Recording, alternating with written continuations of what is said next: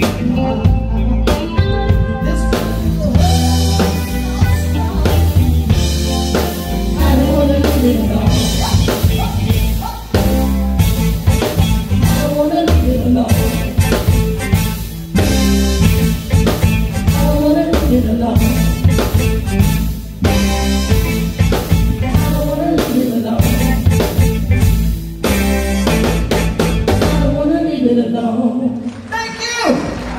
right about now. Happy birthday, Edwin Cordell. We love you. I'm so happy to be here tonight. Thank you, Mr. A, for this beautiful facility.